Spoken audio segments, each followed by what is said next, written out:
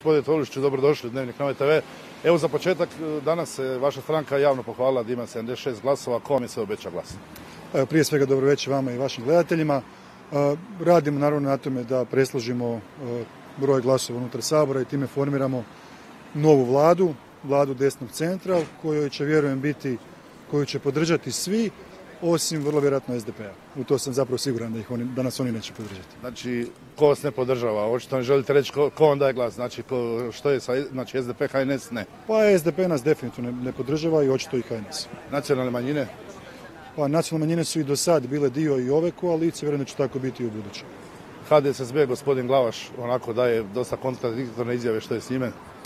Pa ja osobno smatram kad govorimo o HDSSB-u da je on dobro došao u tu priču, pogotovo u priči daljnjeg razvoja Slavonije i vjerujem da su i oni svjesni da ova vlada sa dobrom ekipom može voditi ovu priču u dobrom smjeru.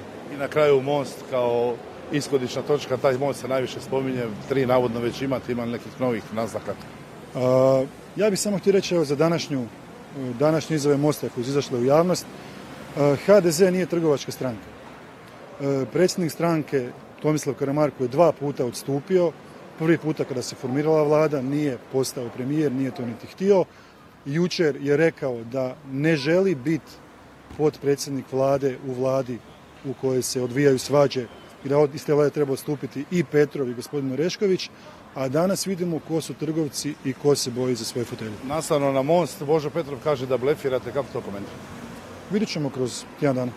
Dio domoljubne koalicije vidi problem u mogućoj koaliciji vašoj sa SDSS-om jer bi onda navodno izgubili glasove HSP Ante Starčević. Kako to mislite riješiti? Pa vidjet ćemo šta je kako. Ja i dalje kažem i danas e, manjine podržavaju i ovu vladu. Ne vidim razloga da to ne bude i u budućem.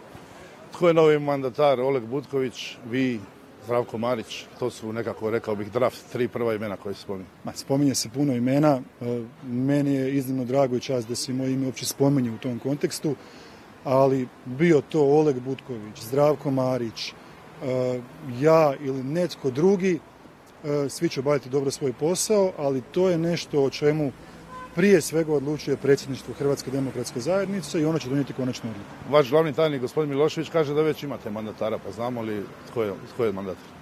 Ja ne znam, ali evo, gospodin Milošević je glavni tajnik i nadam se da on zna. Ako vas pozove predsjednik stranke i kaže vi ste Tomislave novi mandatar, reakcija? Pa ja ću mi se zahvaliti i to prihvatiti. Recite nam, mislite li da će ova suradnja sa u eventualno novoj vladi e, biti još teža nego s Mostom? To vas pitam jer je očito da će biti puno više stranaka nego sada znamo da ovaj eksperiment, eksperiment nije uspio. Pa ja mislim da će nova vlada biti sastavljena od ljudi koji žele voditi Hrvatsku u dobrom, pozitivnom smjeru. Sad nam imamo sad rast bruto društvenog proizvoda, iako realno ovih pet mjeseci se moglo napraviti puno više. Uz dobru priču, dobro vodstvo dobar smjer, nagodinu može taj rast biti duplo veći i svi oni koji to žele su dobro došli u ovu, nadam se, u budućnosti vrlo lijepu priču. Špekulira se menima novih starih ministara, hoće li primjerice biti mjesto za ministra Hasanbegovića na vladi? Pa, možda neće biti mjesta ni za mene, ali o mjestima u vladi uopće u svemu tome nismo pričali. Znači, poanta je složiti e, normalnu vladu, koja, vladu desnog centra, koja želi voditi Hrvatsku u pravom, ispravnom smjeru. Sve ankete kažu da većina građana želi nove izbore, je li se HDZ boji novih izbora? Apsolutno se ne boji.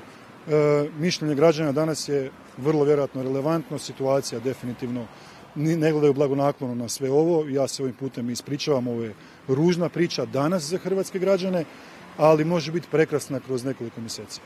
Hipotetski što ako oporba uspije izglasati raspuštanje Sabora? Pa onda su uspjeli u tome i idu novi izbor. I za kraj, gospodine Tolušiću, sutra je obraćanje premijera. Što očekujete da će reći uh, gospodin Orešković?